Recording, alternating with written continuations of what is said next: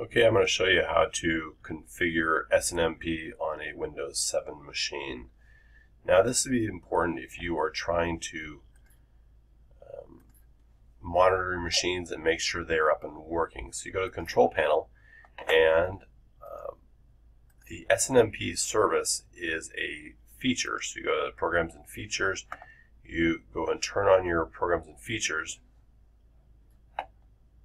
and when it finally loads up and you list all your features, you will see that there is an SNMP feature. So let's scroll down right here, SNMP.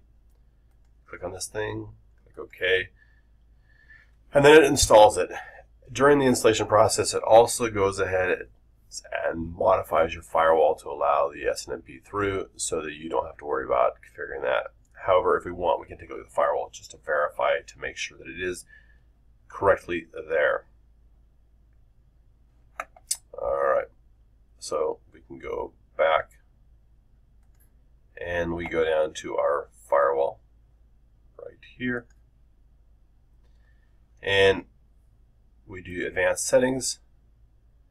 And then in the advanced settings, we're going to be taking a look at the configuration inbound rules.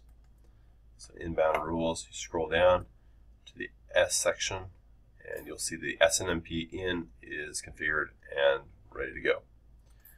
All right, so now we go back to our control panel and we go to administrative tools. And here we look at the services.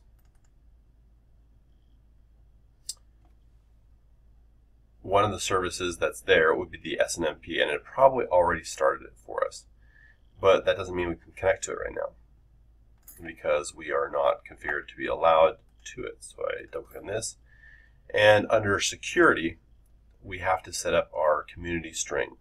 So the default community string, if you're out there trying to hack into things, is public. So we'll just call it public. Of course, ideally you'd have some else.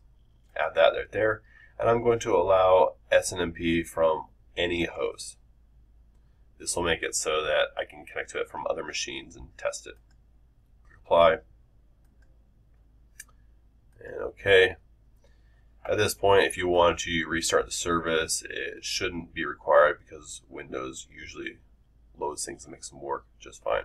All right, now I'm going to take a look at uh, connecting to it and testing it from the server.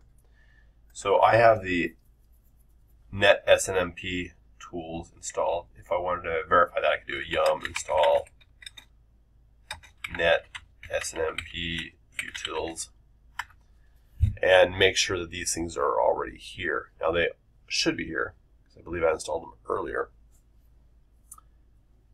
But once they're there, you can use the SNMP walk and SNMP get tools to find information about your about the systems that you're monitoring. So if I do SNMP get, I can pass it the community string of public with a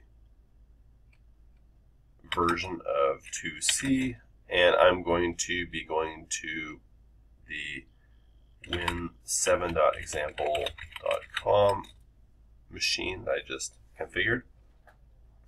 And I am going to pass it sysname.0 as the argument I want to get and then it returns back Win7 indicating that I was able to connect to it and we know SNMP is running.